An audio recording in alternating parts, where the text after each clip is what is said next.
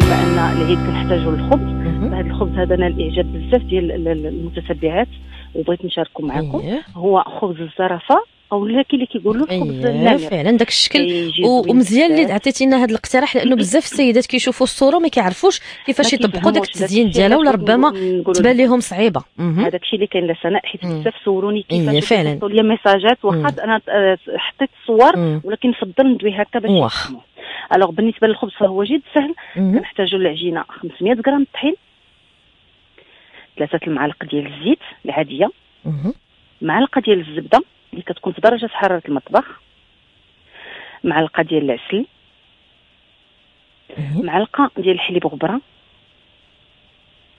25 غرام ديال خميرة الخبز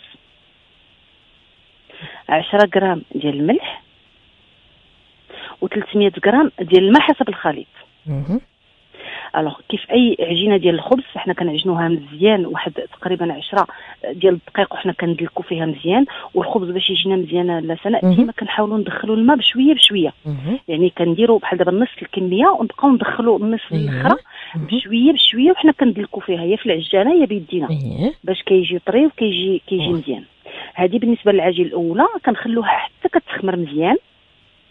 كتطلع وكيضاعف الحجم ديالها وكنديروا منها كويرات أنا كنفضل بالنسبة للمبتدئات. دابا هكا إيه. جيتك الضياف كتعبري يعني الكرات ديالك تعبريهم باش كيجيو قياس واحد قياس واحد بالنسبة للسيدات اللي عندهم اليد هكا مولفين فهما. كيحطوا الكويرات ديالهم ويخلوهم فوق فوق لاطا. حتى كيخمروا إيه. كندوزو لوجدوا الطبقة الثانية اللي هي كتعطينا الشكل. ديال الزرافة الزرافة. اولا ديال. النمر.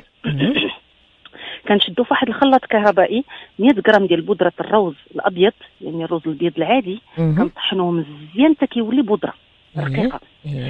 كنزيدو عليه 100 غرام الماء كنزيدو عليه معلقة السنيده معلقة الزيت معلقة كبيرة.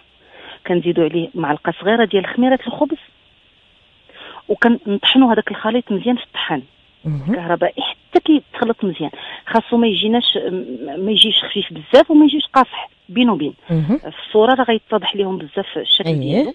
كنشدو هذاك الخليط وكنحاولوا ندهنوا به شوية داك كندهنوا به السطح ديال هذوك الخبيزات ديالنا إيه، الوجه الخبيزات. المعلقة.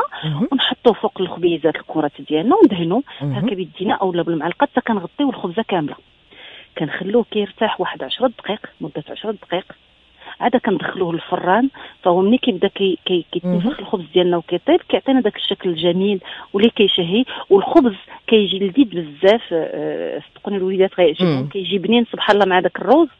وفكرة جديدة حتى هي هكا نقدموها في. الفطور ديال العيد إن شاء الله. أي الله يعطيكو الصحة ولا الضيوف تابعونا في مواقع التواصل الاجتماعي وما تنساوش ديروا abonner في la chaîne YouTube